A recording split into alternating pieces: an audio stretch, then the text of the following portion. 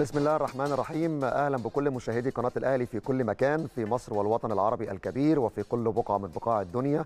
جمهور النادي الأهلي العظيم وحلقة جديدة من برنامج الترند. بالتأكيد ده حلقة مهمة جدا لأن خلاص بنتكلم على مباراة القمة بين الزمالك والأهلي يوم الجمعة القادم على استاد القاهرة الدولي. باقي من الزمن أقل من حوالي 72 ساعة ثلاث أيام على هذه المباراة. اللي بالتأكيد جماهير الكرة المصرية بشكل عام والأهلاوية والزملكاوية بشكل خاص بينتظروها مع كل مناسبة سواء في الدور الأول أو الدور الثاني وأوقات كتير حتى في البطولات الإفريقية في السنوات الأخيرة. مباراة مهمة ايا كان ترتيب إقامة هذه المباراة في مسابقة الدوري تبقى مباراة القمة هي مباراة ذو طابع خاص ونتمنى إن شاء الله بإذن الله النادي الأهلي يكون صاحب الكلمة العليا في لقاء القمة يوم الجمعة القادم لأن بالتأكيد الأحداث اللي هتلي هذه المباراة نتمنى بإذن الله تكون إيجابية في صالح الأهلي خلال الفترة القادمة في ظل إن الإعلام والسوشيال ميديا دايما بيركز على أمور كثيرة جدا متعلقة بفريق الكورة داخل النادي الأهلي ولو ان المفروض الإعلام يكون بيتعامل بشكل محايد خاصة لما بيكون إعلام لا علاقة له بالأهلي ولا بالزمالك. عموما حلقة النهارده فيها تفاصيل مهمة جدا لكن نبدأ بسؤال حلقة اليوم. سؤال حلقة اليوم عايز أعرف جمهور النادي الأهلي وكل متابعينا يدخلوا ويشاركوا معنا في الإجابة على السؤال. هي هو أفضل تشكيل للأهلي في مباراة الزمالك يوم الجمعة؟ شاركوا معنا في الإجابة على السؤال من خلال صفحات القناة عبر السوشيال ميديا صفحة الفيسبوك وتويتر وإنستجرام. وفي الفقرة الأخيرة نستعرض أكبر قدر من الآراء والمشاركات. لكن خلونا نبدأ حلقتنا بأهم العناوين. في ترند الأهلي الفريق يواصل تدريباته استعدادا للقمة. وكمان في ترند الأهلي الأهلي يدخل معسكرا مغلقا اليوم. وفي الترند العالمي الآن الليلة صلاح يسعى لتحقيق أرقام جديدة في دوري الأبطال. استعراض مباريات اليوم واليوم استكمال باقي جولات مباريات دوري أبطال أوروبا النهاردة. كالعادة 8 مباريات ولكن مباراتين الساعة 8 إلا ربع. ميلان يستضيف بورتو. وريال مدريد يستضيف شختار دونيتسيك. بالتأكيد مباراة مهمة جدا لريال مدريد. طيب نروح لمباريات الساعة العاشرة مساء ومباريات السهرة. مانشستر سيتي يستضيف كلوب بروج لايبزيج يستضيف باريس سان جيرمان سبورتنج لشبونة يستضيف بشكتاش بروسيا دورتموند يستضيف أياكس أمستردام. ليفربول يستضيف اتلتيكو مدريد. وشيريف تيراسبول يستضيف إنتر ميلان. مباريات مهمة جدا في دوري أبطال أوروبا لكن الآن نخرج إلى فاصل وبعد الفاصل نرجع مع بعض ونبدأ نتكلم عن أهم الأخبار والكواليس اللي معانا في فقرة ترند الترند. أهلا بحضراتكم من جديد وفقرة ترند الترند. طيب بنتكلم على مباراة القمة بين الزمالك والأهلي يوم الجمعة القادم. في أكتر من شق متعلق بهذه المباراة. أول جزئية متعلقة إن النهارده بالتأكيد الفريق النادي الأهلي هيدخل معسكر مغلق استعدادا لمواجهة الزمالك إن شاء الله يوم الجمعة الجهاز الفني فضل إن النهارده يكون التدريب مغلق بدون حضور أي وسيلة إعلامية من المنظومة الإعلامية في النادي الأهلي حرصا طبعا على السرية الشديدة والتركيز الشديد ويكون في خصوصية خلال ال 48 ساعة استعدادا لمباراة القمة إن شاء الله. النهارده المران مغلق مفيش أي تفاصيل متعلقة بالمران ولا أي أخبار بعد مباراة الوديه بالامس اللي واجه الأهلي فيها فريق المرج وانتصر فيها أو فاز فيها بهدفين مقابل هدف لكن بالتأكيد الجهاز الفني ليه تحضيرات خاصة بالنسبة لمباراة القمة. بيتسو موسيماني بيتعامل مع المباريات الكبيرة بإطار معين. داخل معسكر مغلق قبل المباراة ب 48 ساعة. يمكن النهارده الفريق عقب التدريب مباشرة. هيدخل معسكر في إحدى الفنادق القريبة من استاد القاهرة الدولي. وبكرة هيكون في تدريب ليلة المباراة. وهيبقى في أكتر من محاضرة الجهاز الفني بالتأكيد هيشتغل فيها على بعض الأمور المتعلقة بالاستعداد لمباراة الزمالك سواء جوانب فنية جوانب تكتيكية. عايز أطمن كل السادة المشاهدين الحمد لله محمد الشناوي سليم وبيشارك في التدريبات الجماعية. وسواء الشناوي شارك أو علي لطفي الحمد لله في اطمئنان على مركز حراسة المرمى في النادي الأهلي. سواء الشناوي أو علي لطفي أو حتى كمان مصطفى شوبير والحراس الصاعدين سواء مصطفى شوبير أو حتى حمزة علاء. كلنا نتذكر الموسم الماضي مباراة الدور الأول في نفس الظروف بالظبط. كان أصيب محمد الشناوي وما كانش موجود في مباراة الزمالك ولعب علي لطفي. والأهلي كسب الزمالك في وجود علي لطفي. الأهلي كسب وعلي لطفي كمان تصدى لركلة جزاء وضربة جزاء من نادي الزمالك. فبالتالي الأهلي عنده حراس مرمى على أعلى مستوى. مش هنسمح لأي حد ايا كان هو مين ممكن يشكك في أي لاعب في النادي الأهلي سواء في حارس مرمى أو خط الدفاع أو في الوسط أو حتى في الهجوم الأهلي عنده أفضل لعيبة في مصر. قدامنا اتنين إن شاء الله بإذن الله هم من أفضل حراس المرمى في مصر خلال السنوات الأخيرة. ولو مش كده لكان الأهلي فاز بدوري أبطال إفريقيا على حساب الزمالك لكان الأهلي فاز بدوري أبطال إفريقيا العام الماضي والموسم الماضي على كايزر تشيفز. ما كانش الأهلي قدر يحقق كل البطولات الأخيرة ولما الشناوي غاب علي لطفي حارس مرمى أو كان حارس مرمى النادي الأهلي في أكتر من مناسبة وكان ابرزهم مباراة القمة أمام الزمالك والأهلي فاز على الزمالك وعلي لطفي كان له دور كبير جدا في هذه المباراة زي ما قلت لكم لما تصدى لضربة جزاء. اذا المباراة فيها معطيات كثيرة جدا وفي نفس الوقت فكرة بقى طريقة اللعب الأهلي هيلعب إزاي الزمالك هيلعب إزاي كل دي أمور بترجع بالتأكيد لكل جهاز فني. لكن مهم جدا في مثل هذه المباريات الكبيرة الجزء بقى النظري المحاضرات. أنت شفت مباراتين اللي فاتوا لنادي الزمالك. شفت طريقة اللعب الأداء. باتريس كارتيرون بيركز على إيه؟ نفس الأمر برضه باتريس كارتيرون شاف أكيد مباراتين الأهلي سواء مع الإسماعيلي أو البنك الأهلي. وإن كان الأهلي تحديدا في المباراتين طبعا المستوى اختلف. أمام الإسماعيلي كان مستوى تاني خالص البداية كانت قوية. وأمام البنك الأهلي نتيجة الظروف اللي واجهت الأهلي في هذه المباراة. البنك الأهلي كان بيلعب بطريقة لعب معينة جدا أو معينة بشكل دفاعي أكتر. لكن قدر الأهلي يكسب بهدف مقابل لا شيء. كل مباراة كانت فيها ظروف وفي نفس الوقت بيتسو موسيماني قدر يتعامل مع كل مباراة على حدة. آه بدأ في المباراة الثانية بنفس تشكيل المباراة الأولى وبدأ بلويس ميكيسوني زي ما أنتم قدامكم على الشاشة وهدفه في الإسماعيلي مع بيرسي تاو وكمان آه بنتكلم على آه محمد مجدي قفشة. لكن مباراة البنك الأهلي بالتأكيد حصل فيها تعديلات في الشوط الثاني لما دفع بقى بمحمد شريف. كل دي أمور أكيد الجهاز الفني في الزمالك بيفكر فيها زي ما الجهاز الفني الاهلي بيتسو موسيماني بيفكر إزاي يقدر يواجه مفاتيح لعب نادي الزمالك. أبرزهم طبعا أحمد سيد زيزو أشرف بن شرقي يوسف أوباما سواء مصاب أو حتى سليم. عمر السعيد أكيد بيتميز بالكرات العرضية وضربات الرأس في طبعا سيف الجزيري ليه طريقه لعب معينة بخلاف عمر السعيد. فكل دي أمور بالتأكيد كل جهاز فني بيحضر بشكل كويس إزاي يواجه المنافس بتاعه. لكن نتمنى إن شاء الله إن يكون الأهلي في الموعد وجاهز لمباراة القمة. الجزء الثاني وهو حكام مباراة القمة. طبعا أنا يمكن سعيد جدا امبارح كانت في ردود فعل إيجابية وناس كتيرة يمكن اشتغلت بعد ما إحنا اتكلمنا على مباراة القمة ومين ممكن يديرها وإحنا اتكلمنا امبارح بالمنطق. قلنا عدد من أو بعض المعايير واتكلمنا في معلومات وشوية تفاصيل وكواليس باختيارات حكام القمة وقلنا الشواهد دي ممكن يكون قدامها إبراهيم نور الدين وهو حكم مباراة القمة. امبارح الحمد لله ردود الأفعال كانت إيجابية جدا والناس اشتغلت ورانا وأكدت نفس الكلام اللي إحنا قلناه لكن بالتأكيد كلنا بننتظر خلال ال 24 ساعة الجاية الإعلان الرسمي من اتحاد الكورة. كمان في نقطة مهمة جدا لما طرحنا التفاصيل والكواليس المتعلقة بحكم مباراة القمة الناس كلها كان لها ردود فعل سلبية على إبراهيم نور الدين. والناس كلها كانت مندهشة إزاي ممكن يكون الاختيار إبراهيم نور الدين.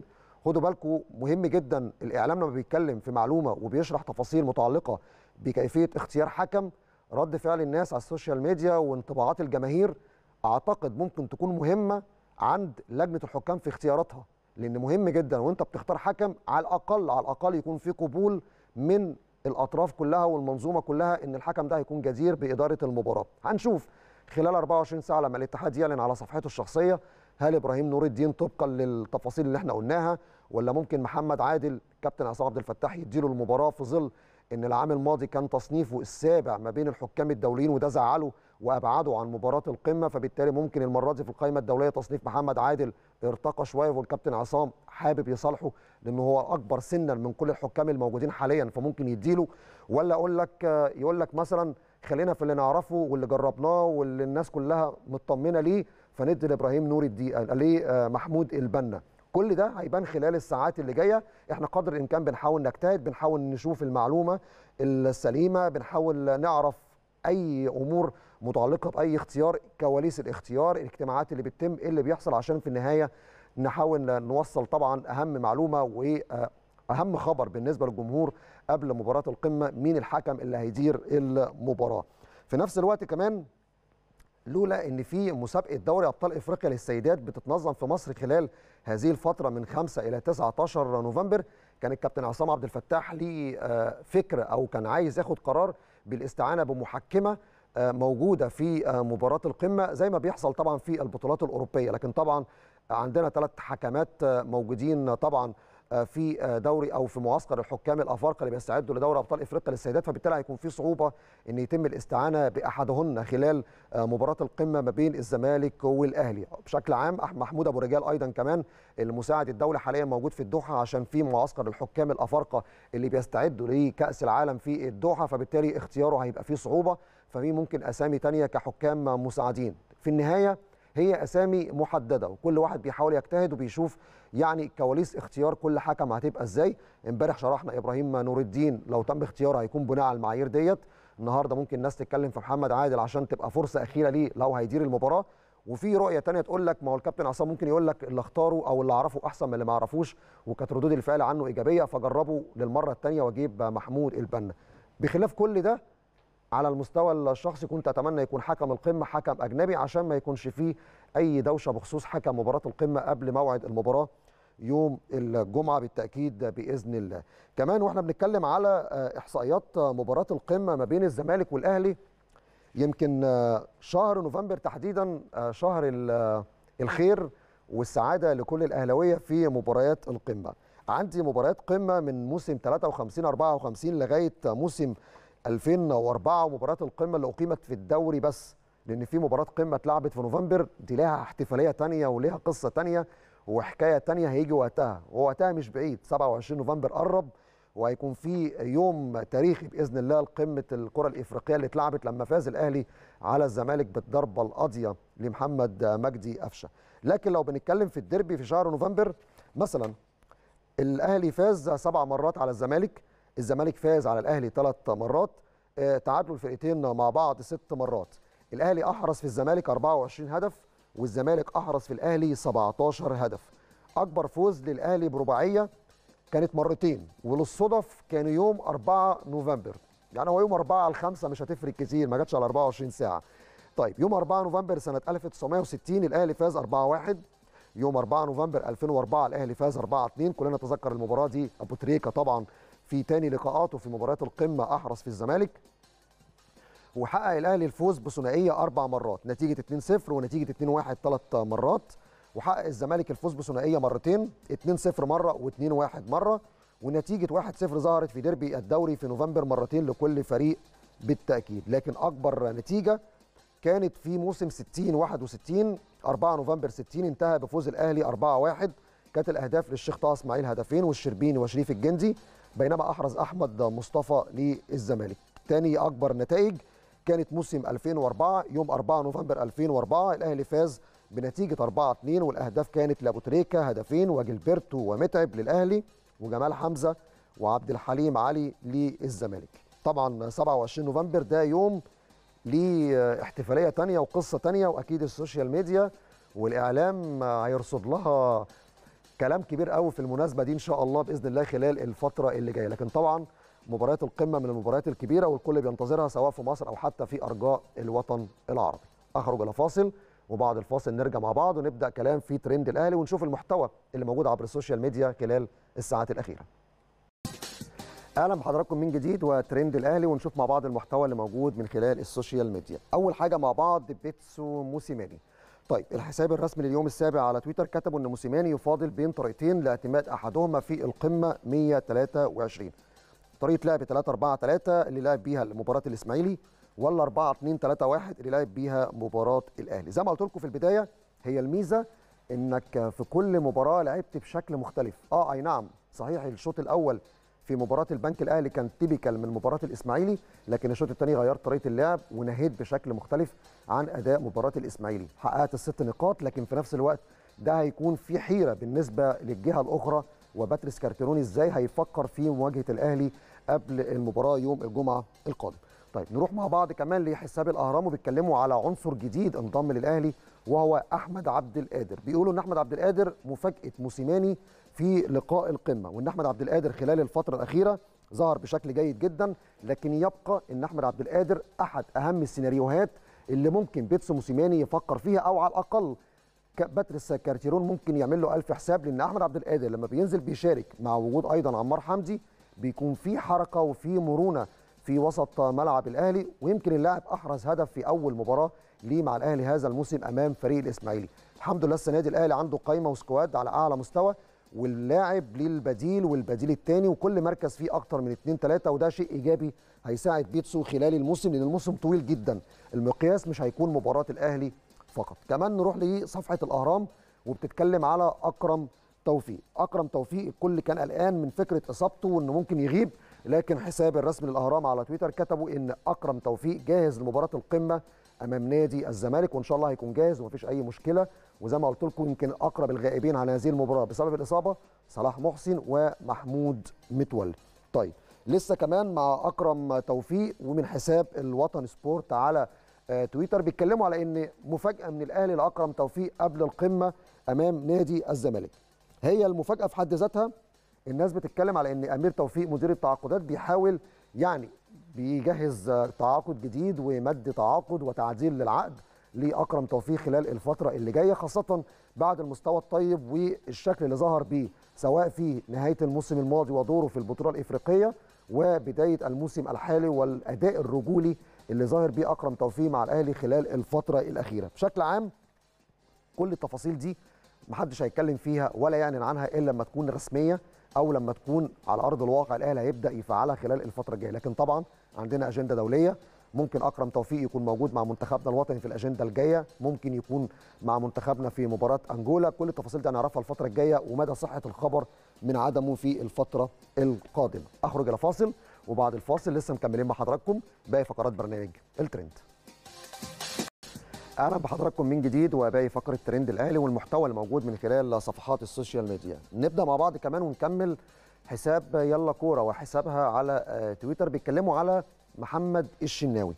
طيب بنسبة تتخطى ال 98% سيلحق الشناوي بمباراة القمة المقبلة ضد الزمالك. الشناوي يعشق التمرين لو بنص رجل هيتمرن. طبعا الحمد لله على سلامة الشناوي. ودي تفاصيل مصدر وضحها ليلا كورة إزاي الشناوي بيستعد للحاق بلقاء القمة. مهم جدا نركز على نقطة مهمة جدا خاصة بمحمد الشناوي. محمد الشناوي يمكن الفترة الأخيرة كان في طريقة علاج معينة من خلال الجهاز الطبي بحيي عليها بالتأكيد دكتور أحمد أبو عبلة والجهاز الطبي اللي معاه لأن خلاص أصبحت الإصابات لما بتحصل في فريق النادي الأهلي ما بتاخدش وقت كبير. الوقت بقى الحمد لله قليل جدا وده ظهر في أكتر من لاعب خلال الفترة الأخيرة. لكن الشناوي تحديدا كان البعض بيتوقع مبدئيا الإصابة ممكن تاخد يعني من أربع أسابيع لخمس أسابيع لكن من خلال ال- العلاج والتأهيل الحمد لله الشناوي بقى سليم وبيشارك في التدريبات منذ يوم الاثنين الماضي ويمكن مباراة الأمس الجهاز الطبي يفضل إن يكون الشناوي يعني ما يغامرش ويلعب المباراة الودية لكن على مباراة الجمعة هيكون جاهز بنسبة 100% زي ما أكدت في البداية سواء الشناوي أو علي لطفي إحنا عندنا الحمد لله اتنين حراس على أعلى مستوى وأفضل حراس في مصر. والبعض اللي بيحاول يشكك في أداء علي لطفي عشان يعمل هزة في مركز حراسة المرمى في النادي الأهلي بقول له ارجع للتاريخ واقرأ كويس عشان تعرف إن الأهلي عنده حارس متميز اسمه محمد الشناوي وحارس متميز آخر اسمه علي لطفي ولسه في حراس واعدين جايين الفترة الجاية مستقبل حراسة المرمى سواء مصطفى شوبير أو حمزة علاء أو حتى باقي الحراس في قطاع الناشئين. وارجع للتاريخ واقرأ وشوف مباراة القمة العام الماضي في الدور الأول إزاي علي لطفي قدر يكون حائط تصدي منيع أمام فريق الزمالك والأهلي ينتصر ويتصدى لركلة جزاء. شغل الحرب النفسية قبل المباريات الكبيرة زي مباراة القمة أعتقد مش مطلوب لأن في النهاية الاثنين حراس مرمى مصري سواء شناوي أو حتى علي لطفي اللي كان بينضم حتى في سنوات سابقة لحراسة مرمى منتخبنا الوطني. ولو هنتكلم بقى في إطار الحرب النفسية ممكن مثلا على السوشيال ميديا ناس تقول لك إيه آه لا خلاف إن الشناوي وعلي لطفي الفترة الحالية بيتدربوا على ركلات الجزاء الترجيحية. ممكن مباراة يكون فيها ضربات جزاء زي ما هو العادة في الفترات الأخيرة. لكن بشكل عام عندنا حراس مميزين جدا والأهلي جاهز لمباراة القمة سواء بالشناوي أو علي لطفي.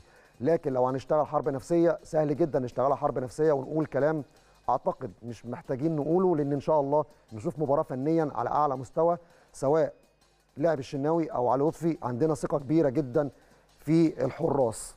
وأكيد ممكن يكون بيتدربوا على ضربات الجزاء. محدش عارف اللي بيحصل خاصة إن التمرين النهارده مغلق وبكرة مغلق.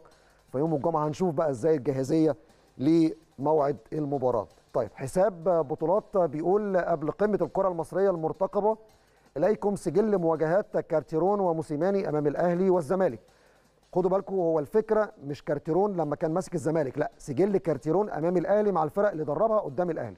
يعني مثلا كارتيرون مع الأهلي أو أمام الأهلي فاز في مباراتين خسر مباراتين تعادل مباراتين مع وادي دجلة لما كان بيقود وادي دجلة فاز على الأهلي 1-0 وخسر من الأهلي 2-1 مع الزمالك فاز على الأهلي 3-1 وتعادل مع الأهلي في الوقت الأصلي والإضافي 0-0 ثم فاز بضربات الجزاء 4-3 مع الزمالك أيضا خسر 2-1 وآخر مباراة انتهت بالتعادل إيجابي 1-1 فنقدر نقول سجل كارتيرون من الأهلي نسبة 50 50 طيب نروح لموسيماني. سجل حافل.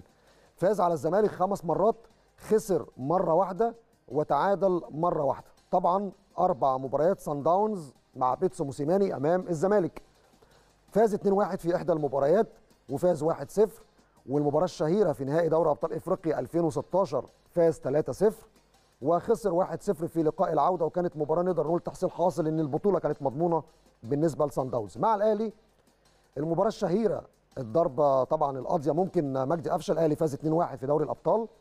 لقاء الدور الأول العام الماضي الأهلي فاز 2-1 ولقاء الدور الثاني العام الماضي الفرقتين تعادلوا 1-1 وكان تعادل إيجابي. اذا بلغة الأرقام موسيماني يتفوق على باتريس كارتيرون ونقدر نقول موسيماني تخصص أمام نادي الزمالك. لكن كلها لغة أرقام ليست واقع ولا علاقة لها بأرضية الملعب وما سيحدث في الملعب يوم الجمعة القادم. صفحة وحساب جول مصر بيتكلم طيب الدور الأول آخر خمس مباريات كل فريق لعب مع الثاني وإيه النتائج؟ آخر خمس مباريات فاز الأهلي 2-1 انسحب الزمالك هو الزمالك انسحب أعتقد ده الانسحاب الثاني أو الثالث آه دي واقعة الأتوبيس يا جماعة. لما الزمالك ما راحش استاد القاهرة وكان الناس بتدور على الأتوبيس فين وحصل انسحاب والأهلي ساعتها فاز وقررت اللجنة الخماسية وقتها فوز الأهلي بالثلاث نقاط. المباراة الثالثه تعادل بدون أهداف. آه ثم الأهلي فاز 3-0 والأهلي فاز أيضا 2-0 دي آخر خمس مباريات ما بينهم في الدور الأول. نروح كمان لليوم السابع وبيتكلموا على مراقبة مشددة من رابطة الأندية لقمة الزمالك والأهلي. الفكرة في حد ذاتها إن رابطة الأندية المصرية بالتأكيد مش هتدي مساحة ولا فرصة إن يكون في خروج عن النص. عشان كده هيكون في أكتر من مراقب من المسابقات في هذه المباراة عشان يرصد أي خروج عن النص. المباراة سواء بحضور الجمهور سواء في أرضية الملعب كل ده هيتم رصده من خلال مراقبي المباراة. وجرى العرف إن بيكون اختيار إدارة المسابقات لاثنين مراقبين لهذه المباراة. هل ممكن العدد يكون أكتر؟ ده هنشوفه يوم الجمعة. هل ممكن يكون في مراقب أمني أيضا في مباراة القمة؟ ده هيتضح الفترة اللي جاية. ولكن رابطة الأندية عايزة تعمل نظام. ايا كان الشخص اللي هيخرج عن النص في مباراة القمة هينال الجزاء والعقوبة اللي هتناسبه طبقا للائحة. وبالتالي دي بداية مهمة جدا عشان نشوف مسابقة محترفة ومحترمة والكل بيلتزم بيها. ورسالتي للجمهور وأنا تحديدا جمهور الأهلي بالتأكيد رسالتي ليه تشجيع مساندة مؤازرة تقفوا في صف اللعيبة وتشجيع اللعيبة الأهلي كسبان وهتبقوا موجودين في الثالثه شمال. رسالة الجمهور الأهلي هتبقوا موجودين في الثالثه شمال. وده المكان اللي من خلاله بتبدأ من خلاله عارفين الحماس وال والمؤازرة والمساندة. والمكان ده الناس بتقول عليه دايما هو المكان السحري لشحن همم اللعيبة وتحفيزهم قبل المباريات الكبيرة. ما بالكم مباراة القمة؟ فإن شاء الله الجمهور هيكون على قدر المسؤولية وأنا واثق في جمهور النادي الأهلي إن شاء الله هيعمل مباراة كبيرة جدا. زي ما اللعيبة إن شاء الله هتحاول تأدي مباراة كبيرة جدا والأهلي إن شاء الله ينتصر في هذه المباراة. آخر حاجة معايا في الوطن الرياضي وهي متعلقة بالحضور الجماهيري. طيب الوطن سبورت بيتكلم على إن في مفاجآت للجماهير في مباراة القمة بين الزمالك والأهلي. ده كان تصريح نشر في الصفحة الرسمية للوطن سبورت على الفيسبوك لسيادة اللواء علي درويش رئيس هيئة استاد القاهرة وبيتكلم على إن في ترتيبات بالنسبة للمباراة والملعب هيتم طبعا افتتاحه أو فتح الأبواب من الساعة 3 العصر. جمهور الأهلي هيكون في الثالثه شمال جمهور الزمالك هيكون في الثالثه يمين وفي اتفاق مع الجهات الأمنية على كافة الترتيبات في هذه المباراة. وإن شاء الله نشوف مباراة مثالية بحضور 2000 مشجع 1000 لجمهور الأهلي و1000 لجمهور الزمالك. أخرج إلى فاصل وبعد الفاصل لسه مكملين مع حضراتكم باقي فقرات برنامج الترند. أهلا بحضراتكم من جديد والترند العالمي وبالتأكيد النهارده في مباريات مهمة في دوري أبطال أوروبا لكن نشوف الترند العالمي يركز على إيه خلال الساعات الأخيرة من خلال السوشيال ميديا. حساب يلا كورة بيتكلم على الكينج محمد صلاح. حساب يلا كورة على تويتر بيقول الملك المصري محمد صلاح على موعد مع تحقيق رقم قياسي جديد. مشاركة محمد صلاح أمام أتلتيكو مدريد ستصبح المباراة الأوروبية رقم 50 في مسيرته مع ليفربول. في حال سجل صلاح ثنائية الليلة في شباك أتلتيكو مدريد يصبح أول لاعب في تاريخ ليفربول يسجل هدفان في ثلاث مواجهات أوروبية متتالية. حاسس كده السنة دي إن المنافسة هتبقى قوية جدا على آه، طبعا الكرة الذهبية. إمبارح شفنا كريستيانو مع مانشستر يونايتد إزاي بينقذ سولتشاير في اللحظات الأخيرة للمباراة الثانية على التوالي؟ وإزاي كريستيانو تحس إن هو عنده تحدي إنه لا ينافس على الكرة الذهبية؟ في وجود كريم بنزيما في وجود ليفاندوفسكي في وجود محمد صلاح المنافسة هتبقى قوية جدا. مباراة النهارده على المستوى الشخصي أنا شايفها مهمة جدا بالنسبة لصلاح لأن لقاءات أتلتيكو مدريد مع الفرق الإنجليزية بتبقى مباراة قوية جدا.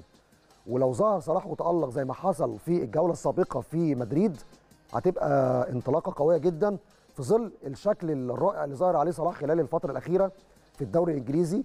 أهدافه في مانشستر سيتي تألقه وهاتريك في مانشستر يونايتد. عدد أهداف غير طبيعي في الفترة الأخيرة. موسم أنا شايف إنه هيكون أفضل موسم لمحمد صلاح مع ليفربول في السنوات الأخيرة وفي التعاقد الأول لصلاح مع ليفربول قبل إن شاء الله التجديد أو هنشوف لسه صلاح بيفكر إزاي في المرحلة اللي جاية. لكن مباراة مهمة جدا. النهارده ليفربول مع أتلتيكو مدريد هتكون الساعة 10 مساء بتوقيت القاهرة. طيب حساب في الجول بيتكلموا على تصريحات لجوردون هندرسون طبعا كابتن فريق ليفربول. حساب في الجول على تويتر نشر تصريحات ونقل تصريحات هندرسون في تصريحاته عن صلاح لجريدة تايمز قال إنه يعيش من أجل كرة القدم فقط. تصدر صلاح عناوين الأخبار في الأشهر القليلة الماضية وأظهر كيف يمكنه التألق بشكل مستمر. إنه يتدرب في صالة الجيمانيزيوم كل يوم ويتعافى بشكل صحيح ويأكل الطعام الصحي إنه يعيش من أجل كرة القدم فقط. أتمنى أن تنتهي مفاوضات تجديد عقده بنجاح. لقد قال إنه يريد البقاء في صفوف ليفربول وهذه خطوة في الاتجاه الصحيح. صلاح يبلغ من العمر 29 عاما وأعتقد إنه سيلعب لفترة طويلة جدا. تصريحات مهمة جدا من جوردان هندرسون قائد فريق ليفربول وده طبعا حاجة بتسعدنا لما بنشوف طبعا كابتن فريق ليفربول بيتكلم عن نجم مصري زي محمد صلاح. محمد صلاح يا جماعة خلى طموحاتنا وأحلامنا تختلف بعد ما كنا بنتمنى إن يكون لنا لعيب بس في الدوري الإنجليزي. لا ده بقى لعيب في الدوري الإنجليزي وفي أكبر فريق في إنجلترا. وأكتر فريق ليه تاريخ في انجلترا زي مانشستر يونايتد وبقى كمان هداف الدوري الانجليزي آخر ثلاث سنوات وبينافس كمان على جائزه الكرة الذهبية وأفضل لاعب في العالم بخلاف كمان وجوده في جائزه الفرانس فوتبول خلال الأيام القادمة. وهنشوف المنافسة إزاي مع كريم بنزيما وروبرتو ليفاندوفسكي بالتأكيد مهاجم فريق بايرن ميونخ. اللي امبارح بالمناسبة أهدر ركلة جزاء والمنافسة محتدمة زي ما قلت لكم ما بين هؤلاء النجوم قبل الإعلان الرسمي عن من سيكون أفضل لاعب في عام 2021 نروح كمان لحساب EPL World و Football Insider بيتكلموا عن كونتي.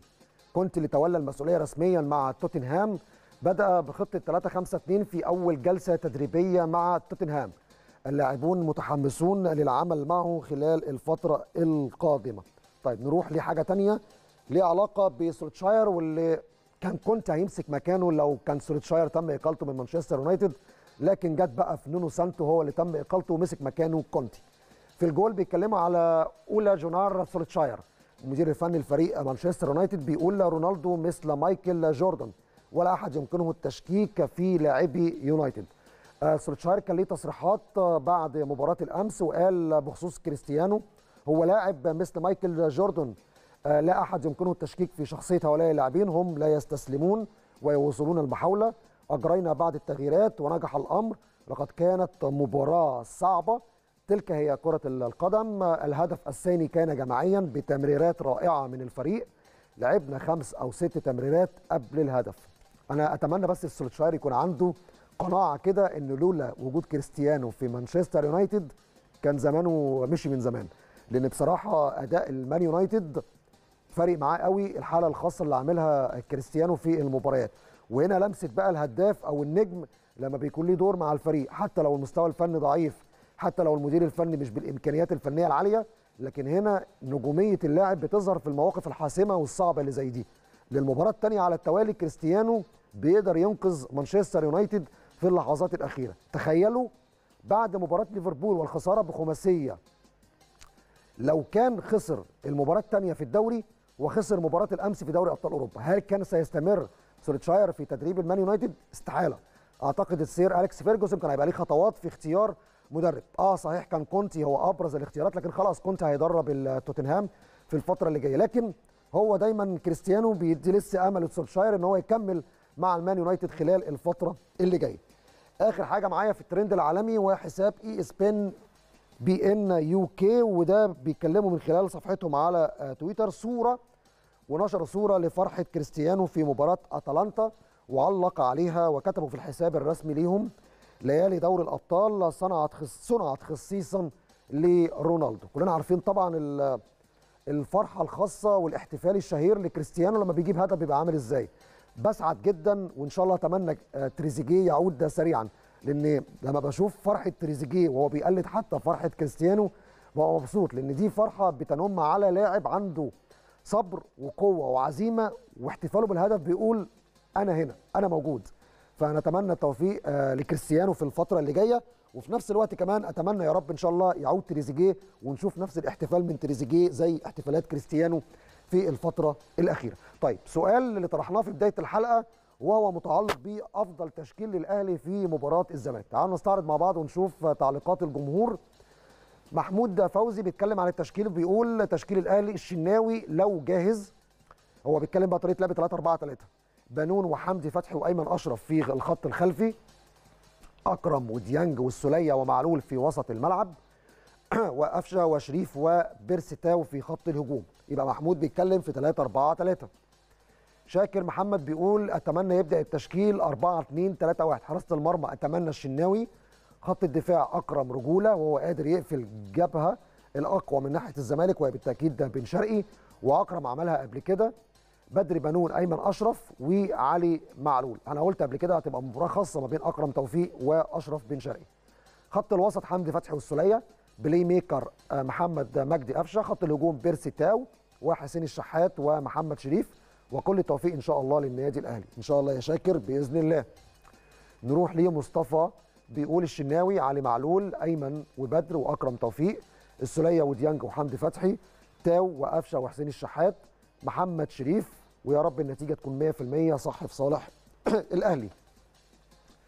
السيد بيقول الشناوي في حالة إن كان جاهز بدر بنون أيمن أشرف علي معلول أكرم توفيق عمرو السوليه مجدي قفشة حسين الشحات لويس ميكيسوني بيرسي تاو ما بين قوسين محمد شريف.